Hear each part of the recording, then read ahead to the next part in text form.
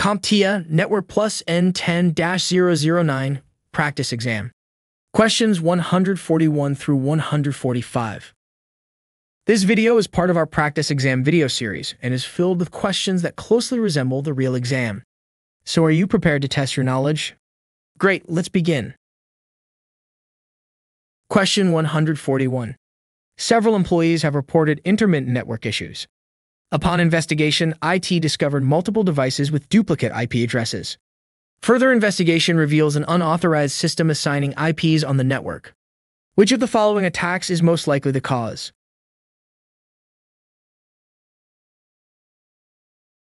The answer is A. Rogue DHCP server. A rogue DHCP server attack occurs when a malicious actor sets up an unauthorized DHCP server to assign incorrect or duplicate IP addresses to network clients. This can cause IP conflicts, disrupt connectivity, misroute traffic, or facilitate man-in-the-middle attacks by directing users to attacker-controlled gateways. Attackers may use this technique to intercept sensitive data or deny service to legitimate users. Enabling DHCP snooping on switches can prevent this attack by filtering out unauthorized DHCP responses. Question 142. An organization is looking to improve network visibility by implementing a solution that can monitor multiple vendors and operating systems, collect data in real time, and correlate information for analysis. Which of the following best meets these requirements?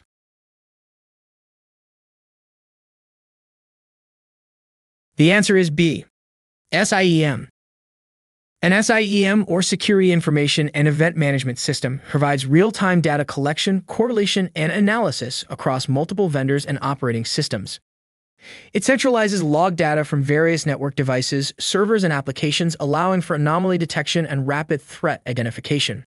By analyzing patterns across different data sources, an SIEM enhances network visibility, streamlines incident response, and improves overall security posture.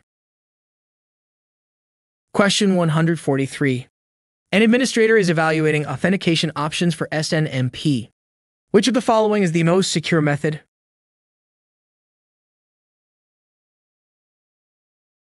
The answer is B. SNMP version 3 with authentication and encryption.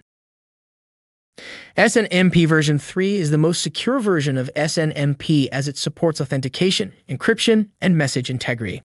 Unlike other versions of SNMP, which rely on plain text community strings, SNMP version 3 comes with various options for authentication and encryption. This ensures that SNMP communications are protected from interception and unauthorized access. Question 144. A company has noticed increased user access to gambling websites and wants to restrict this activity on company computers. Which of the following is the best solution?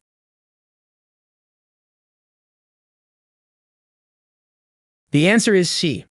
Content filtering. A content filter is designed to block access to specific websites based on categories, keywords, or domains.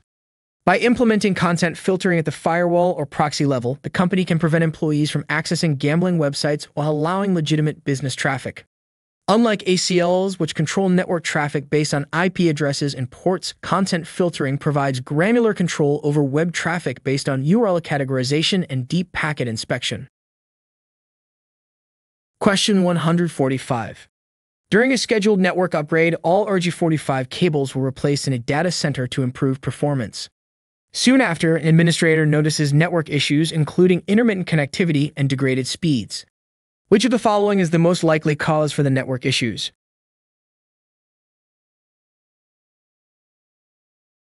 The answer is D. The STP cables were accidentally replaced with UTP cables. In a high interference environment like a data center, replacing shielded twisted pair cables with unshielded twisted pair cables can degrade network performance. Shielded cables help reduce electromagnetic interference from power cables, motors, and other electrical sources. Without shielding, signals can become corrupted, leading to packet loss, slower speeds, and unstable connectivity.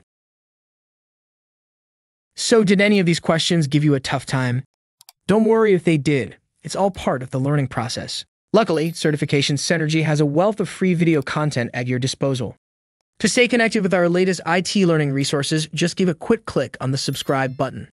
This simple action ensures you're always updated about our newest video releases.